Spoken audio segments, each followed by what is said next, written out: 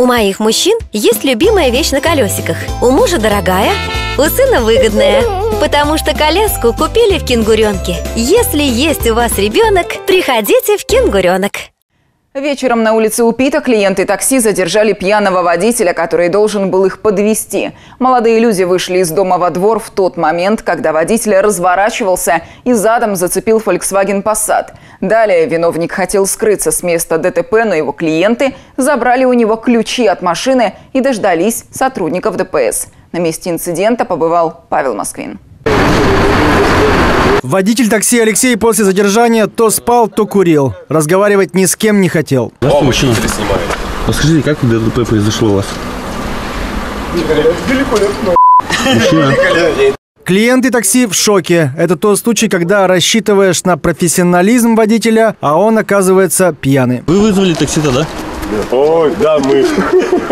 После лихого разворота и удара таксист врезался в Volkswagen Passat. Вы на месте стояли? Нет, нет, из окна увидел.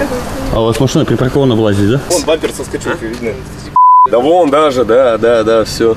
Вон краска есть, все. По словам пассажиров, после ДТП водитель пытался уехать, но они достали у него ключи от машины и вызвали наряд ДПС. Я все тут уже, все, к тебе приехали. По твою душу. Че ты прячешься тут? Открывай, по твою душу приехали. Отворил дело, показывайся. Алло. Здравствуйте, инспектор ДПС. Водитель все отрицал и не хотел идти на контакт даже с полицейскими. Получали водительское? Паспорт есть? Нет. Вообще документы какие-то подтверждающие личность. Ладно, выходите из машины. Машина-то чья? Не знаю, Кому принадлежит? не знаю. Где взяли? Купил. Страховка-то есть у вас? Нет? Нету? Как возмещать ущерб будете? Мужчину попросили выйти из машины, но он отказывался. Очевидцы готовы были посодействовать полицейским.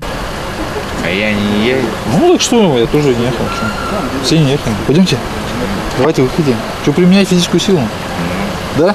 Не. Ну так что-то, выходите по-хорошему. Давай вам нельзя его доставать, мы достанем сейчас. Не надо ничего.